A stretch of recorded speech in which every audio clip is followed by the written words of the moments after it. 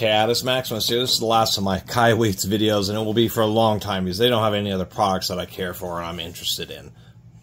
This is a free promotional product. I do appreciate them sending it to me, but I don't take payment. I've only ever had three payments. One was for a charger, and a couple times with the ThruNite flashlights, which I think the company didn't like because they ended up firing the sales rep that I was working with. I think because he approved a couple $100 payments. Otherwise, I've never, I mean, I don't have an Amazon affiliate program. I've never made a dime off any of the links. So I take the free stuff because I have the money to spend for it. And if I think it's cool, it's cool. If I don't think it's cool, I end up donating it and telling you all about it. This is on sale for 35 bucks, normally 50. Actually, a while ago, I mean, these companies have these EMF meters. Who knows how they're calibrated? They have a, a widely varying amount of sensitivity and readings from one another, and that's the biggest issue is some standardization. I will compare to another free promo one, which is Erickhill, which ended up becoming the number one bestseller in Amazon, is the Erickhill EMF meters. And I have the premium ERO2 here. So we'll be comparing the Kaiweets to it. What these are is their EMF meters. They read all three at the same time, but some only display one. This displays all three, and it has this wave. The idea is, you know, if you're experiencing issues of radio interference, you know, this will uh, detect RF frequencies up to 3.5 gigahertz. This Erickhill will go up to 10 gigahertz. This can do 5 detect 5G signals. This won't quite do that. It is a cheaper model. I think the Erickhill is norm. This is normally 80 bucks. You know, other differences on a more expensive one so obviously this is just a full true dot matrix screen. And we are in RF and interestingly enough you know we're getting readings on this where this is more attenuated but this may have better filtering. Now if we do something like get near the this power cord here actually it drops way down on both of them so let's go to our um, electric field there we go. This all measures all three at the same time, but that it, once again, when you change the modes, it's just rotating these things around so you have the bigger display on whatever you're after. And on this Erickhill, if we put it next to it, we can definitely see it's going way up there, 83.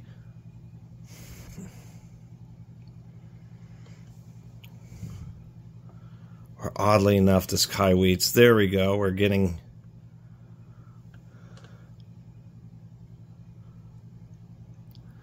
I mean, we're getting 153 on this unit on the Erickhill volts a meter, and I'm getting, you know, 30s on the Kaiweets. And you can see when it starts getting high, the screen color changes. So uh, there we go. Now we're getting about the same reading, but they have to be just about. Um, and it may be just a slight difference that there's more case or the sensor isn't as close to the edge of the case it on this as it is on this. Otherwise, that's kind of the, the best thing to use them for is for detecting voltages, just because uh, they're really sensitive and they are good non-contact voltmeters. They will uh, detect magnetic fields here. It detects AC magnetic fields. It'll detect permanent magnets, but you have to wave them back and forth to induce a voltage. Um, one thing I find a little bit annoying is difference in um, units this reads in Teslas, where this reads in MG, whatever that is. MG is not a standard unit, Tesla is, and so that's a little bit annoying. Um, and when you have power, so this is the power cord that my computer's plugged into, so it has a few hundred watts going through it, it will be generating more of a magnetic field. Amazon's useless Alexa Plus. It's going to fall flat on its face because it just. it's a terrible AI. It just doesn't offer anything. Can't write papers for you and solve math problems. It's just better at answering some questions. Anyway, so that's the other issue with this is using non-standard units. Surprisingly enough, these things are more common and cheaper these days, but man, back in the days of CRT computer monitors, I uh, remember people going around business, you know, work for a company that paid some big, big money for somebody to come around with one of these you know, units because some people's offices, the, the CRT monitors would have the sh shaking. And they'd use one of these to go around and figure out, you know, where the field was coming from. And it turned out that it was a, um, there's some big power going through the ceilings of the, some of these offices, uh, some building distribution power, and the conduit had just didn't have good enough grounding. But they were able to, you know, go around and say, okay, it's definitely a field that's coming from the ceiling area. Here is one reason to get a more premium unit because of the graphing mode here.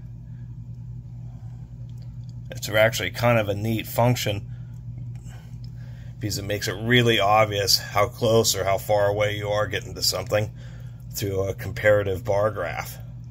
So that's my little video about this unit. It seems like a, an, an okay unit for the price, but I don't like that it has non-standard magnetic field units. I don't think it has quite as good of filtering algorithms uh, as the more expensive units do.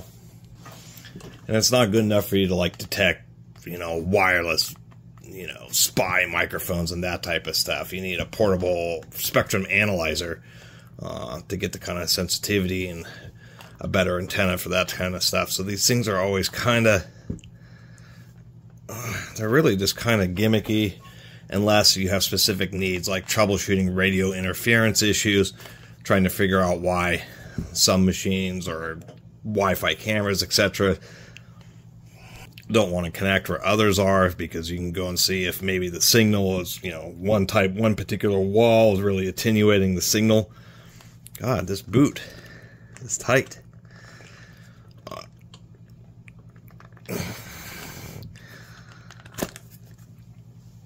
And we'll finish it off. It's a kind of interesting, I think a big portion of these is the specific design of these antennas because those two plates are the antennas. One, that is the electric field sensor, which is a little bit bigger.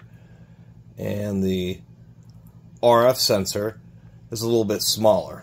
And then the magnetic field is actually, I believe, these three inductors. If you notice, we have one that is vertical,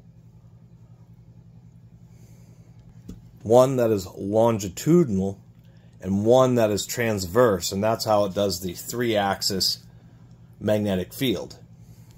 Kind of an interesting mechanical way of doing it, and I assume these are like little signal processor circuits or something. Maybe somebody can tell me if I can zoom in. A lot of these Chinese companies will do this stuff where they grind off. Hello. I guess for anybody who's into it there, I finally got a closer look at the chips. There's three of the very same chip, and there's another one right there, which I'm also assuming is the same. And a tiny little lithium ion battery. With how much space is in the back of this, they could have made this thing have a battery that would have lasted for weeks. And last but not least, it has like this Geiger counter mode. Anyway, they sent it to me for free, so I promised to make a video, and this is it. Anyway, thanks for watching.